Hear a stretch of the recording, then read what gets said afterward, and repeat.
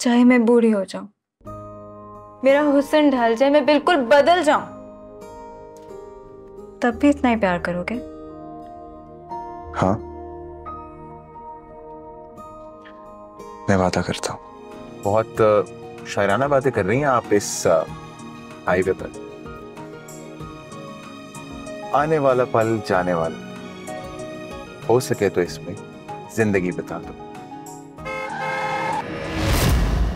आपको क्या हुआ है अंकल?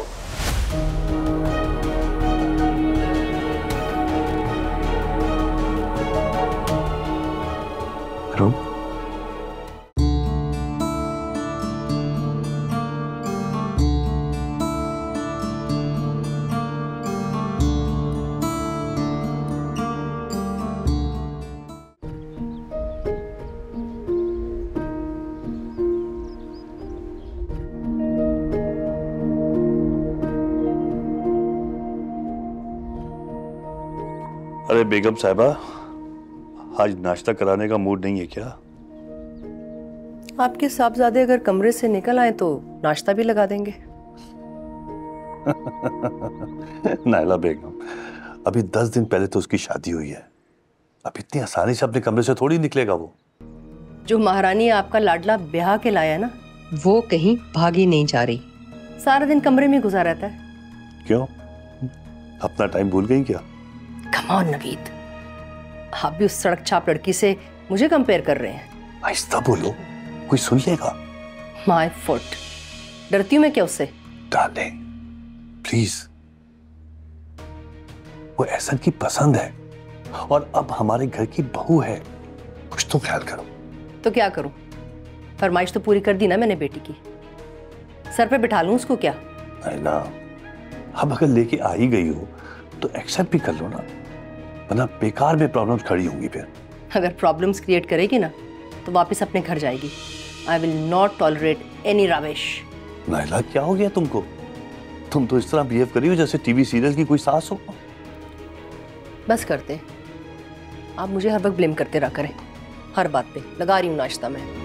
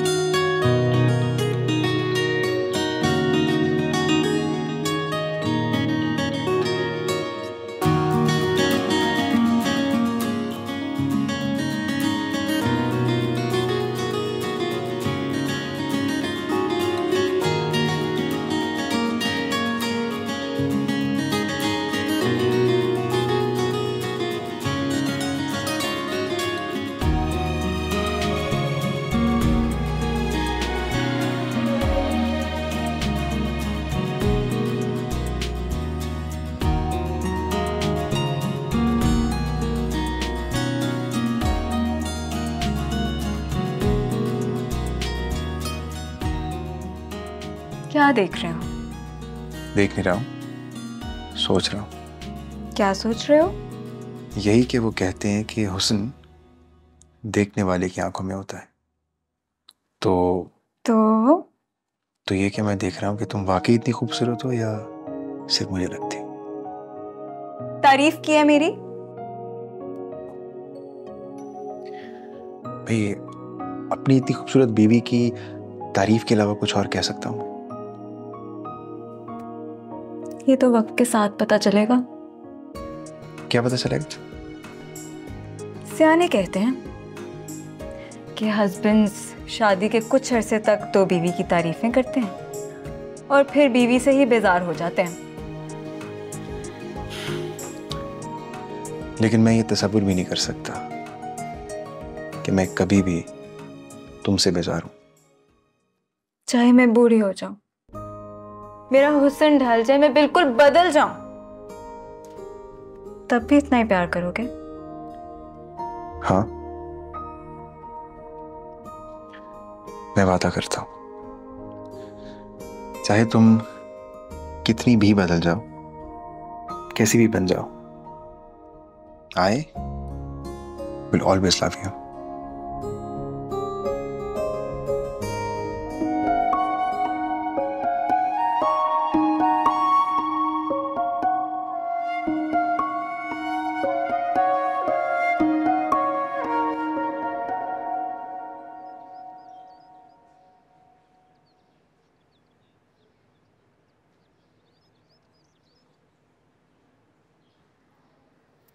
ये लीजिए।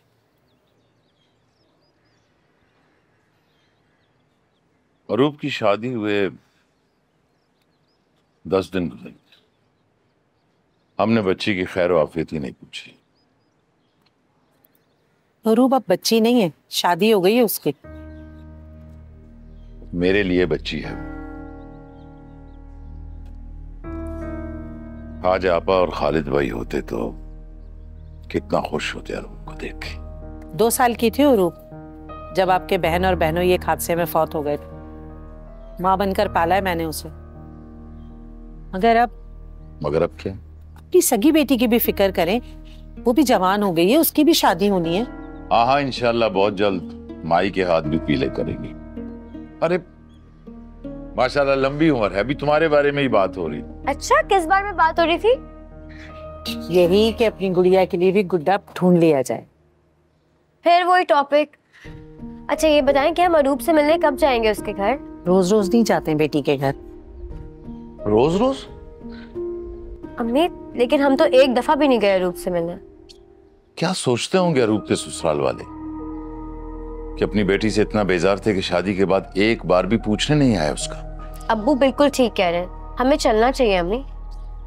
अच्छा भाई जाओ किसने मना किया है? वरना तो लोग ताना देंगे। कि सगी मानी थी मुमानी थी इसलिए पलट के खबर नहीं ली उसकी। राइला भी। अब तो रूप की शादी हो गई। अब तो ऐसी बातें करना छोड़ दो।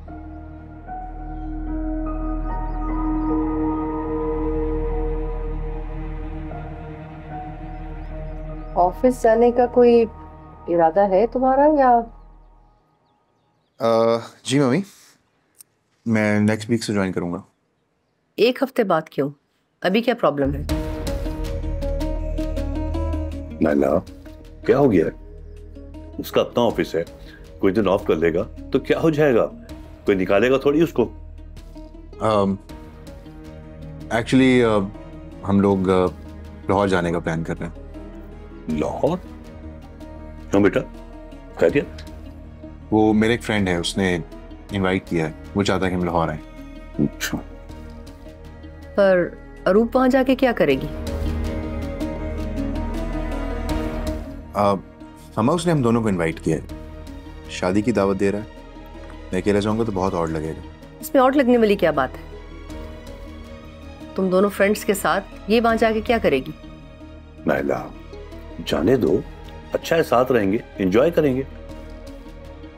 बेटा अपने टिकट्स करवा लिए हैं या मैं मैनेजर को बोल दूँ? नहीं डैड हम बाय रोड जाना चाह बाय रोड? टायरिंग नहीं हो जाएगा। टायरिंग तो हो जाएगा लेकिन लॉन्ग ड्राइव का मज़ा आएगा। ये तो चलो जैसे तुम्हारी मर्ज़ी।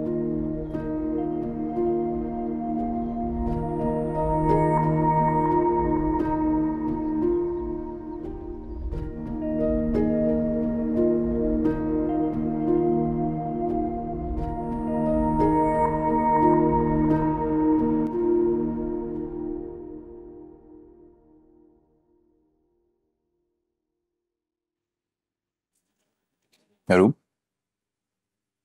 क्या सोच रही? कुछ खास नहीं बस सोच रही थी कि हमारी शादी को दो हफ़्ते गुजर गए हैं। एंड मामू वगैरह मिलने ही नहीं आए मुझसे। माही भी नहीं आई। तो अगर तुम उन लोगों को मिस कर रही हो तो मैं शाम को ले जाता हूँ उनकी तरफ़। इसमें क्या मसला है? नहीं नहीं दैट्स ओके ऐसी कोई बात नहीं है बस मैं ये सोचने लगी थी कि अगर अम्मी अब्बू होते तो वो भी ऐसे ही करते। क्यों सैड हो रही हो? मैं तुम्हें तुम्हारे पेरेंट्स जितना प्यार तो नहीं दिलवा सकता। इतना ज़रूर कहूँगा कि मैं तुम्हें इतना प्यार करूँगा कि तुम्हें किसी और के प्यार की ज़रूरत ही नहीं महसूस होगी। Promise yes I promise I will always love and care for you चाहे कुछ भी हो जाए। चाहे कुछ भी हो जाए। बेटा चाय अरे खाला भी। आप क्यों जहमत करती हैं? वो लड़का है ना वो बना देता। सारी ज़िंदगी मैंने आपके काम किए। अब वो लड़का क्यों करेगा? तो आप रूप को कह देती वो बना देती। सही कह रहे हैं। अरे अभी इसे आए हुए घर में दिन कितने हुए इतनी जल्दी थोड़ी करवाऊँगी अपनी बहू से काम? नहीं नहीं खाला भी वो ठीक कह रहे हैं। मुझे कह देती मैं बना देती ना। एहसन मियाँ तीन साल के थे। जब से मैं इनके सारे काम खुद करती हूँ। इसीलिए ये हमारे मुन्ने मियाँ। और आज से आप मुन्नी बेटी। क्या? मुन्ना मुन्नी ये क्या कह रही हैं? Just let me let me explain it बचपन से मुझे ये बुला रही हैं। I was in A levels तब भी मुझे ये यही बोलती थी। इवन मेरे दोस्तों के सामने भी। uh, मुन्ने मियाँ ही कहती थी। And just just look at me मैं किसी एंगल से मुन्ने मियाँ लगता? अल्लाह खुदा के लिए यार। मेरे लिए तो आप मुन्ने ही हैं। और मुझे भी आपने मुन्नी बना दिया। या थैंक यू खाला भी और कौन कौन सी बातें हैं जो मुझे नहीं पता? ये आहिस्ता आहिस्ता पता चलेंगी।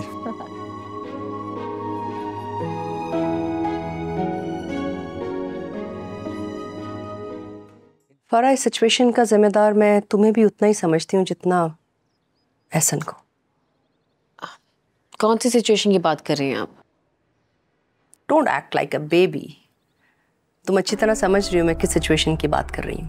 ऑनेस्टली आई डोंट नो अच्छा अच्छा। आप एहसन की शादी की बात कर रही है? या तो वैसे आप उस हवाले से क्यों अपसेट हैं? देखो फरा मुझे प्रॉपर्टी या पैसे की कोई परवाह नहीं है। मेरी सिर्फ़ ये ख्वाहिश थी कि मेरे बेटे की शादी किसी जानी मानी फैमिली में हो। ओहो खाला आप एक पढ़ी लिखी खातून हैं। आपकी खुशी इसी में होनी चाहिए कि आपका बेटा अपनी मैरिड लाइफ में खुश हो। क्यों? अगर एहसन और तुम शादी कर लेते तो क्या तुम दोनों खुश नहीं रहते? नहीं खाला हम खुश नहीं रहते। क्यों? क्या खराबी है मेरे बेटे में? बात खराबी की नहीं है बल्कि फीलिंग्स की है। मैं और एहसन अच्छे कजन्स अच्छे दोस्त हैं। इसके अलावा कुछ भी नहीं। एक तो तुम्हारी जनरेशन की बात है ना। तुम लोग बिल्कुल निराले हो। फरत तुम मेरी भांजी हो। अगर तुम मेरी बहू भी बन जाती तो क्या ये अच्छा नहीं होता? खाला अब तो डॉक्टर्स भी कजन्स मैरिज के हक में नहीं है। फरत तुम कुछ ज़्यादा ही बातें घुमाने घुमा के नहीं करने लगी आजकल? अच्छा खाला मैं अब चलती हूँ देर हो रही है मुझे ठीक है okay meet you soon. Bye. Bye. Take care. Take care. Have a great day. You too. Thank you. आजकल के बच्चे ना बड़ों को बेवकूफ़ बनाने में मास्टर किया हुआ उन्होंने गुड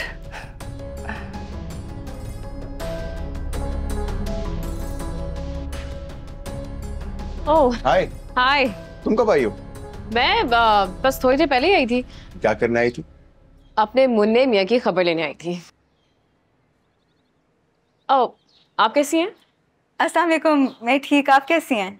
वालेकुम सलाम। ये फरा है my cousin and my best friend शादी पे मिली थी ना तुमसे? कम ऑन सिली दुल्हन बनी हुई थी। इसे कहाँ याद होगा मैं कौन हूँ? मुझे आप याद अच्छा वो कैसे? शादी वाले दिन आप ज़ोर ज़ोर से मेरा मुन्ना मेरा मुन्ना कहकर ऐसे को गले मिल रही थी। मुझे याद है। फिर उसके बाद एहसन ने मुझे कुछ बताया भी था। ओ अब अच्छा आप क्या- क्या बात बताई? मैंने इसको बताया था कि तुम्हारा दिमागी तवाजुन खराब है और तुम पागल हो व्हाट यू अच्छा अच्छा sorry sorry sorry sorry sorry sorry अभी तो जाने दिया है क्योंकि तुम्हारी बीवी है यहाँ पे। वरना तुम्हारे में वो हाल करती ना कि तुम मुझे माफ़ कर दो। यहीं खड़े बातें करते रहेंगे अंदर चले। No no no no thanks बहुत देर से खाला के दुखड़े सुनकर आ रही हूँ। क्या? मामा के कौन से दुखड़े? अरे यार वही ना तुम्हारी मेरी शादी को लेकर I I think I should I should leave या okay okay bye bye bye आपके और फरा की शादी होने वाली थी? आ, नहीं नहीं वो ऐसी एक आधी बार इस तरह की बात हुई थी ऐसी। लेकर बैठ गई उस बात को। मुझ पे शक कर रही नहीं आप कहते हैं तो फिर ऐसा ही होगा।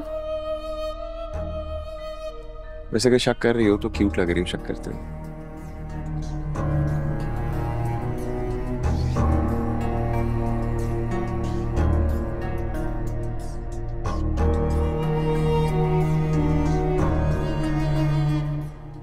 फ़ूड कोर्ट में कितनी वैरायटी थी वहाँ पे? एग्जैक्टली वो मज़ा आया। अस्सलाम वालेकुम। अस्सलाम वालेकुम वालेकुम सलाम।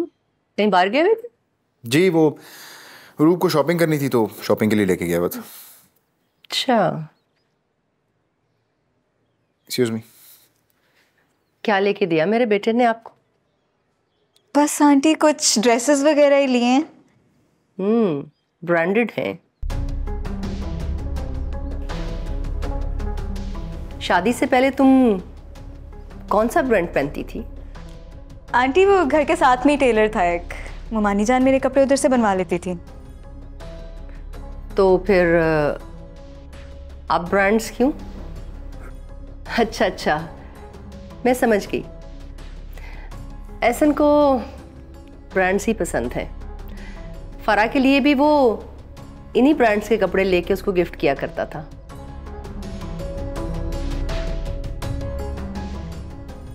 आंटी, लेकिन अब फरा नहीं है, मैं हूँ। और ऐसा ये बात दिल से कबूल कर चुके हैं। उम्मीद है बाकी सब भी कर लेंगे। चले मैं चलती हूँ। क्या पता ऐसा को किसी चीज़ की ज़रूरत हो।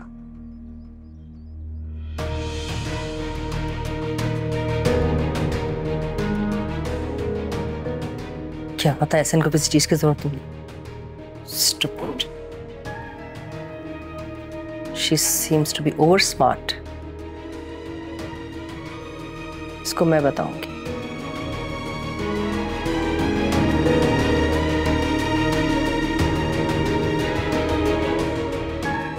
रियली गॉड मैं तुम्हें मना कर रही हूँ। कितने सालों से मना कर रही हूँ कि chemical products are very harmful yes I am only on organic products that's it no compromise यार। स्किन के साथ यू कांट यस स्पा जाया करो। दे आर वेरी बेबी जी जी। वो एक एक सेकंड होल्ड रखिएगा। होल्ड रखना। अरूप साहबा के मामू आए हैं। ठहरो। मैं आपको कॉल बैक कर रही हूँ। बाय कौन आए? अरूप साहबा के मामू आए हैं उनसे मिलने। गॉड बताए बगैर ही आ गए ये लोग? जी बेबी जी। अच्छा ऐसा करो पाँच मिनट बाद हाँ उनको यहाँ लाके बिठाना। जाओ। ठीक है जी। आई कांट बिलीव दिस ये मिडिल क्लास लोग कितने फारिग होते हैं। और दूसरे को भी समझते हैं कि वो बस फारिग है घर पे।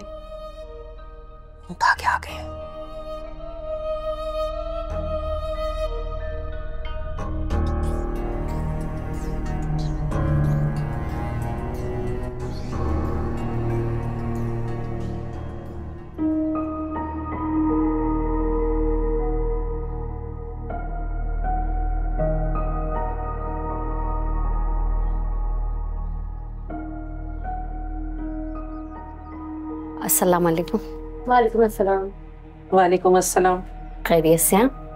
जी ठीक मैं अरूप बिटिया को बता के आती हैं?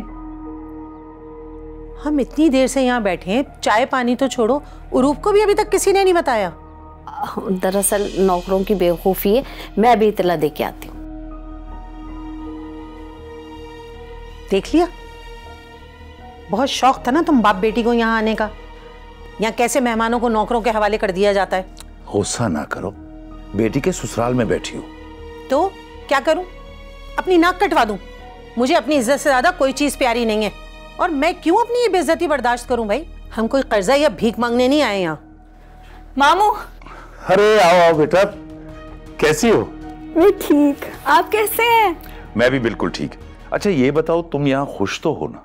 मैं बहुत खुश हूँ मामू। जान आप परेशान ना हो। ममानी अस्सलाम वालेकुम वालेकुम सलाम पिया ठीक हूँ। माही नाराज़ हूँ मैं तुमसे। क्यों नाराज़ हो? भूल गई तुम मुझे। एक बार भी याद नहीं किया।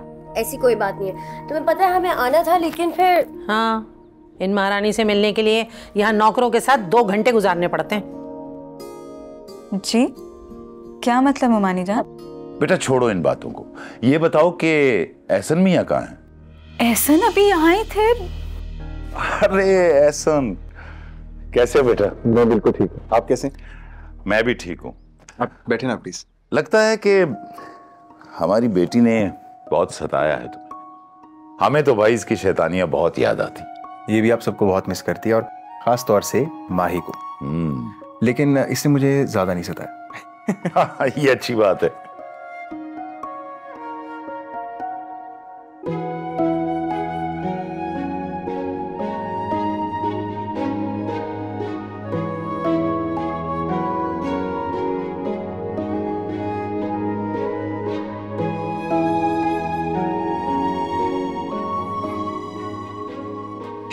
लोग आ गए मिलने। हाँ अ, अच्छा किया ना जाने से पहले मिल गए। हाँ उन कौन आया था?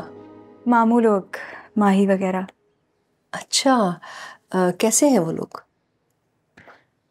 हैं तो ठीक लेकिन बेचारे काफ़ी देर यहाँ अकेले ही बैठे रहे। किसी ने भी हमें इन्फॉर्म नहीं किया। ओ तो वो तुम्हें इन्फॉर्म करके नहीं आए थे? नहीं लेकिन घर पे गार्ड तो है वो तो हमें बता सकता था ना? ना स्टूपिड है मामा। उसने हमें आके इन्फॉर्म भी नहीं किया। खैर छोड़ो इन बातों को। ये बताओ कि तुम दोनों लाहौर के लिए कब ट्रैवल कर रहे हो? बस थोड़ी देर में निकलेंगे okay good have you done your packing I haven't done my packing. मेरे पास बहुत कम टाइम है चलो। चल।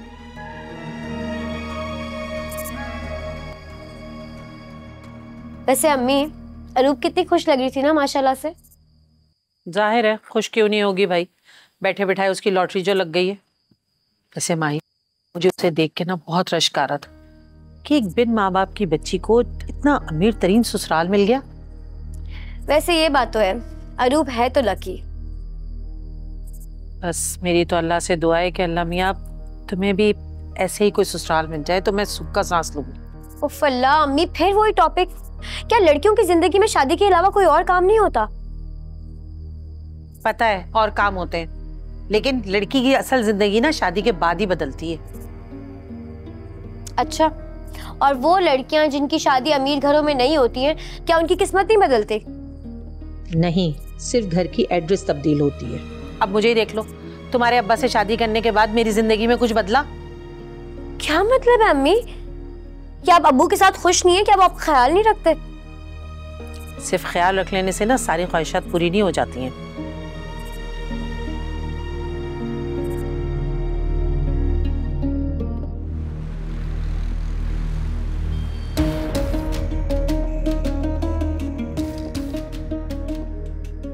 मैडम ये आप अंधेरे में क्या देख रही?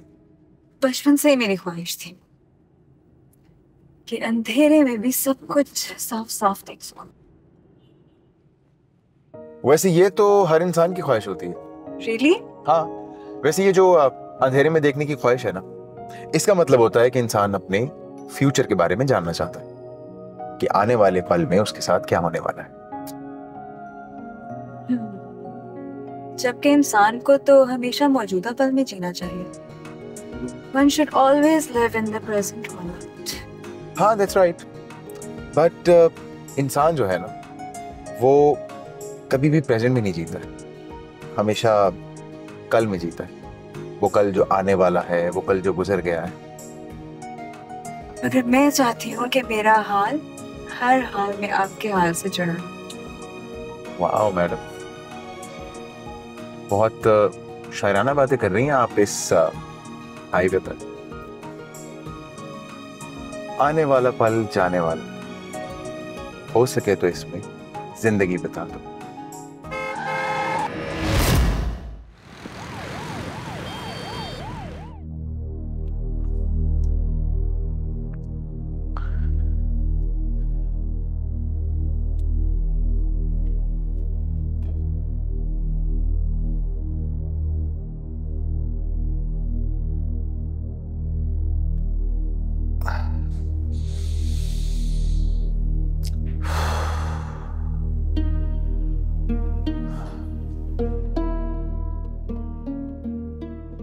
कैसा महसूस कर रहे हैं आप? बस शोल्डर और नेक में थोड़ी सी पेन है but overall I am fine आप बहुत लकी हैं कि आपकी गाड़ी किसी दूसरी गाड़ी से टकराए नहीं और आपको ज़्यादा चोटें नहीं लगी। आपकी गाड़ी के सेफ्टी फीचर्स भी बहुत ज़्यादा थे और आपने सीट बेल्ट भी लगाई हुई थी। सीट बेल्ट और एयर बैग्स की वजह से आपकी बहुत बचत हुई है। डॉक्टर साहब माय वाइफ रूप वो कहाँ है और कैसी है? उन्हें भी वो खास चोटें नहीं आई लेकिन वो लेकिन वो क्या? दरअसल आप पिछले दो घंटों से बेहोश थे मगर वो खातून आई मीन आपकी मिसेस एक घंटे बाद ही होश में आ गई थी। ओके तो? तो ये कि क्या वो किसी जहनी बीमारी का शिकार रही हैं? जहनी बीमारी? अब क्या कह रहे हैं डॉक्टर? वो किसी के कंट्रोल में नहीं आ रही। कहाँ है कहाँ है वो? मुझे उसके पास लेके चले। आप थोड़ा सा वेट करें। हमने प्रोफेसर डॉक्टर हसन को बुलाया है। वो उनका चेकअप कर रहे हैं। प्लीज़ मुझे लेके चलें रूप के पास। I speak to her doctor साहब उनको चेकअप कर लें तो फिर मैं आपको उनके पास लेकर जाता हूँ। थैंक यू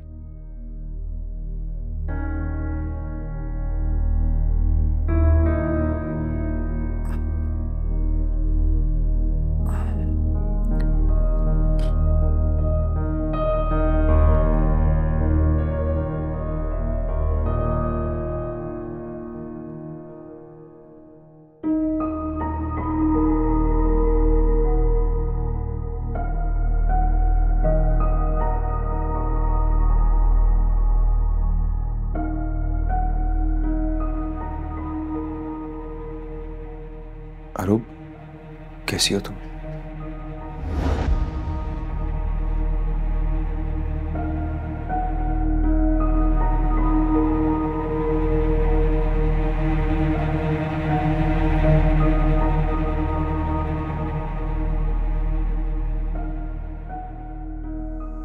अरूप मेरी जान कैसी हो तुम? ठीक हूँ।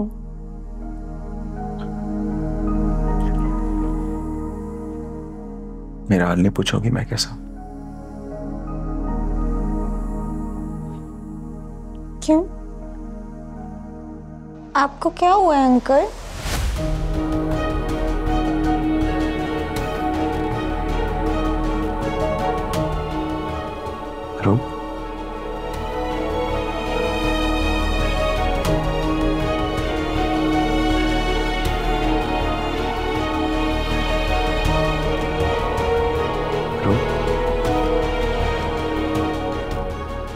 देखिए मैं समझ सकता हूँ।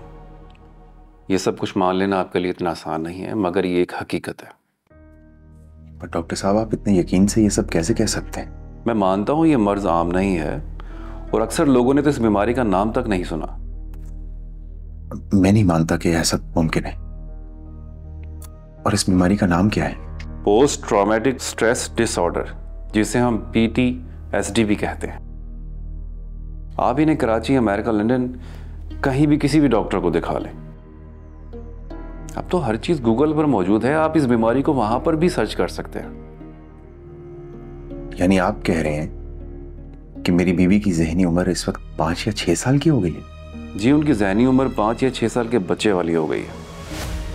इस मर्ज के दौरान पेशेंट कभी कभी रिग्रेशन का शिकार हो जाता है। अब वो मुझे नहीं पहचानेगी। सिर्फ़ आप ही नहीं छः साल के बाद वो जिससे भी मिली है जो कुछ सीखा था वो सब कुछ भूल गई है।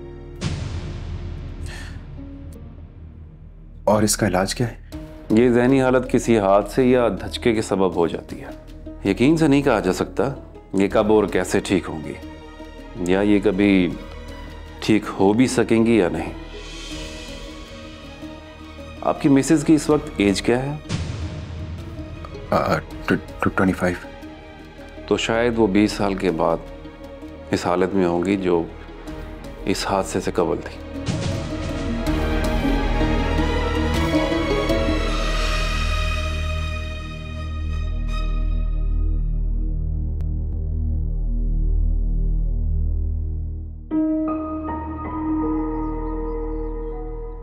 आपको ने क्या बताया था? वो ठीक तो है ना? अल्हम्दुलिल्लाह बिल्कुल ठीक है और बहू भी ठीक है। जब मैंने फ़ोन किया था तो हैदराबाद से निकले थे। मेरा ख्याल है पहुँचने वाले होंगे बस। या अल्लाह सब ठीक करे मेरा बेटा खैरियत से हो। एसएन एसएन तू ठीक है ना? बेटा तू तुझे कुछ हुआ तो नहीं? क्या हुआ था? बेटा बहू कहाँ है? रूप।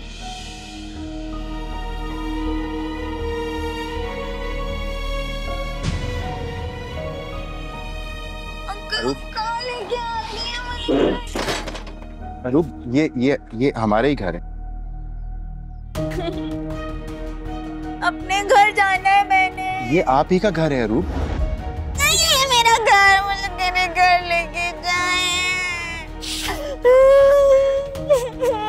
जाए ये आप ही का अपने घर जाना है मुझे। ओके के ऐसे नहीं क्या बकवास कर रही है ये? ये कहीं बांगली तो नहीं हो गई? मामा प्लीज़ डैड आप मामा को अंदर लेके जाए मैं मैं सब समझाता हूँ आपको। मैं इसको लेकर आता हूँ आप प्लीज़ मामा को अंदर लेके चले। ये क्या कर रही है? अरूप प्लीज़ आओ। मैं मैं भेज रहा हूँ इन इनको भेज रहा हूँ मैं। चलो तुम। प्लीज़ आप लेके जाएँ। हाँ। ओके ओके हम हम मामू के घर चलेंगे okay I promise I promise I promise I promise आप एक बार अंदर चलो, हम मामू को कॉल करेंगे okay I promise please okay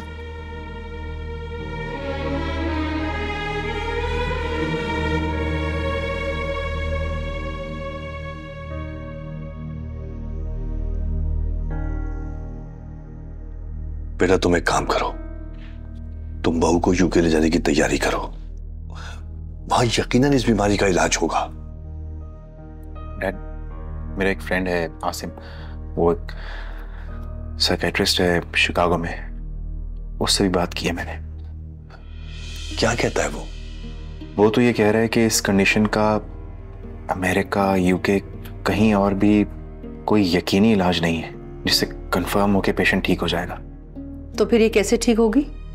वो कह रहा था कि इस कंडीशन में इंसान की याददाश्त अपनी ज़िंदगी के किसी पिछले हिस्से में जाके जैसे स्टक हो जाती है वैसे ही कभी भी वापस भी आ सकती है।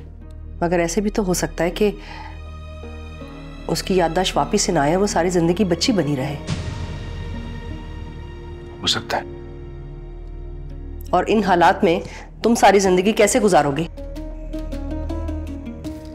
वैसे बेटा इस मेंटल कंडीशन को कहते क्या है? पीटीएसडी रिग्रेशन रिग्रेशन कहो या प्रोग्रेशन एक बावली लड़की के साथ ज़िंदगी नहीं गुजारी जा सकती। मामा कैसी बातें कर रही हैं? वो बीवी है मेरी। मैं क्या गलत कह रही हूँ? मरने वालों के साथ मरा नहीं जाता और बीमारों के साथ बीमार नहीं हुआ जाता। लाइला ये क्या उटपटांग बातें कर रही हो? देखिए मैं कुछ ऊट पटांग बातें नहीं कर रही। हकीकत की बात कर रही हूँ। तुम ऐसा करो कि वापस इसको इसके मामू के घर भेज दो। महीने का खर्चा लगा दो। अगर ठीक हो गई तो वापस ले आना वरना ये आप क्या कह रही है मामा? मैं अरूप को सारी ज़िंदगी यहाँ अपने साथ ज़िंदगी गुजारने के लिए लाया था। अगर वो इस घर में नहीं रहेगी तो मैं भी यहाँ नहीं रहूँगा। एहसन। एहसन। एहसन बेटा। आपने बहुत सर पे चढ़ा लिया इसको। क्रेजी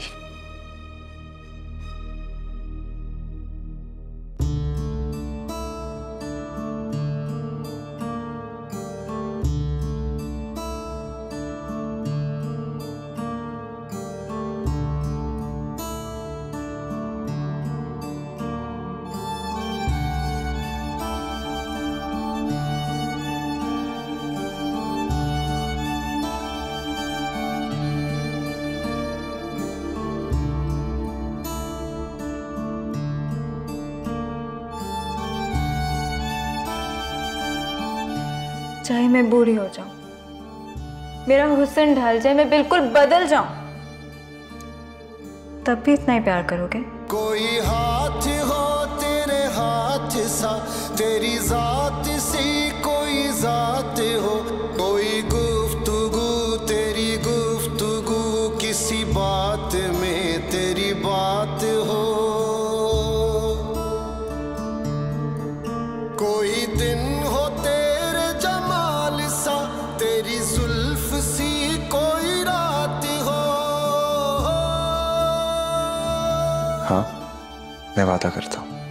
चाहे तुम कितनी भी बदल जाओ, कैसी भी बन जाओ I will always love you मेरी जान